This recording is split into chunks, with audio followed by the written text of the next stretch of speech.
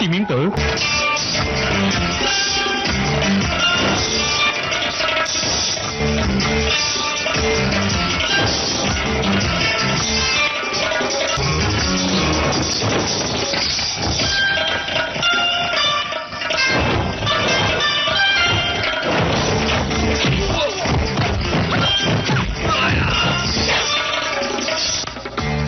Ngươi thật là to gan.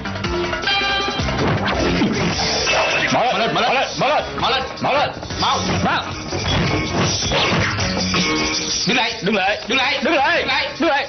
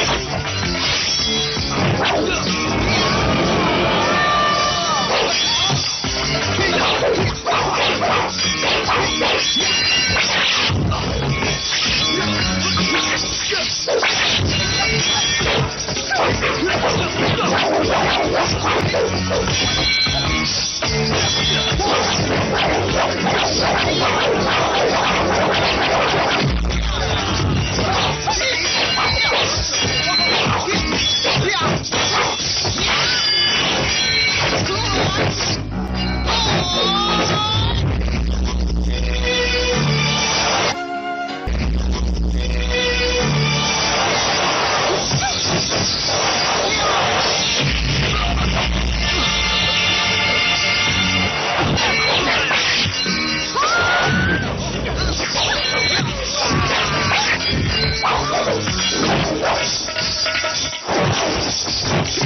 Nghĩa phụ Nghĩa phụ Chanda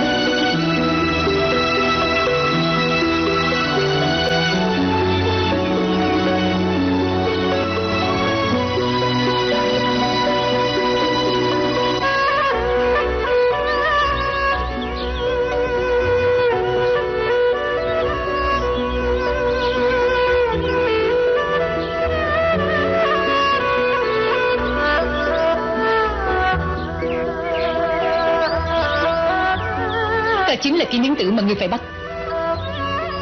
Ta không biết ai là Kim Yến Tử. Ta chỉ biết là Người mà ta phải cưới là Bạch Nguyễn Đồng.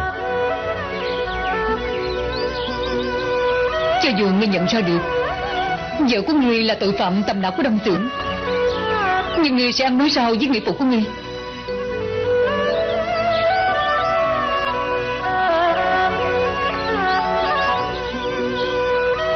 Ngươi không sợ là sau khi cưới ta, Coi như lùa cập trong nhà không? Ta không những là không giúp ngươi Nghe ngươi Trái lại sẽ chống đối với các ngươi Phản kháng các ngươi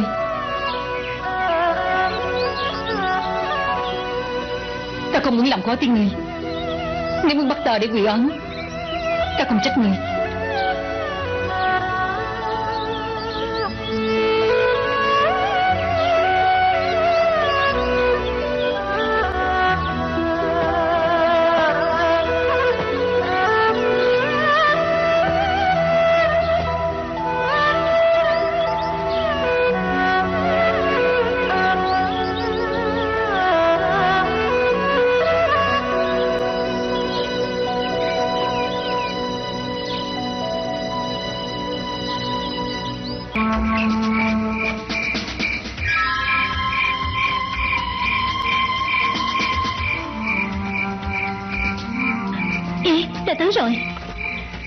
Nhận tâm. Ê, sư muội Người này đáng giết. Tiểu Quyển Hãy bình tĩnh. Đừng quá xung động.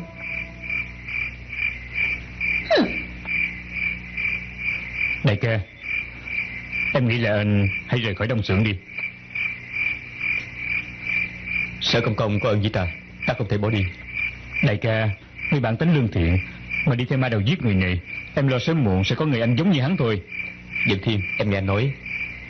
Sư phụ của em là thất quái mà hoàng thượng phải tầm nã. Tốt nhất là em đừng có đi chung với ổng Để bị hòa lây. Coi bộ Hoàn cảnh sinh trưởng của chúng ta khác nhau Lập trường cũng khác nhau. Đừng có chậm trễ Đi mau Mở cửa.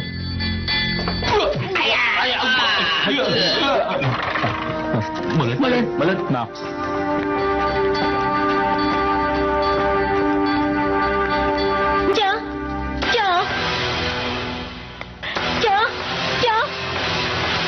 Kế rồi.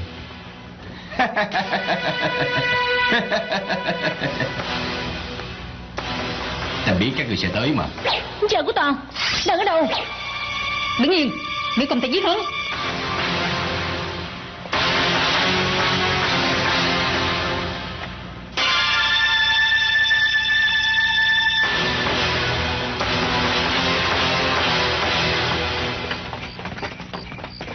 Ê khoan đã Đằng trước có bí đạo của đồng xưởng Ta nghĩ họ sẽ từ đó đánh ra.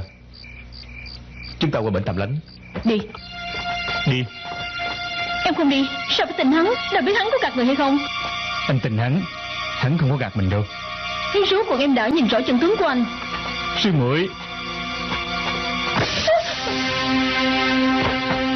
Dẫn cô đi trước rồi tính sau. Được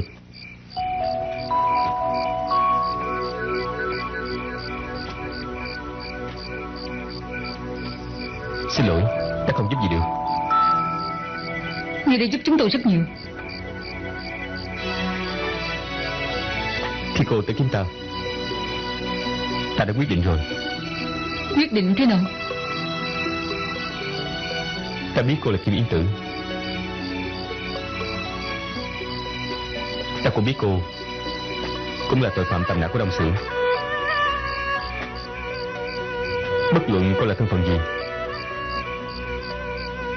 không thể thay đổi ý định của ta phải cưới cô.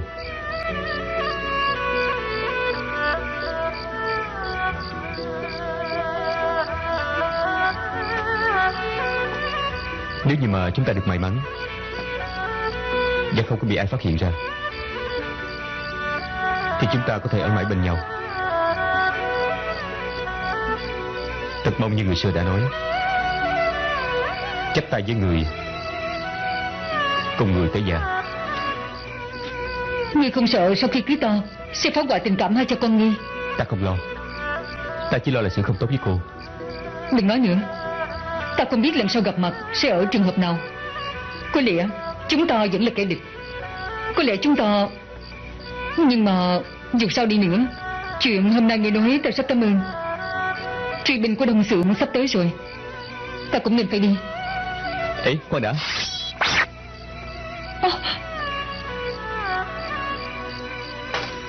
Bảo trọng.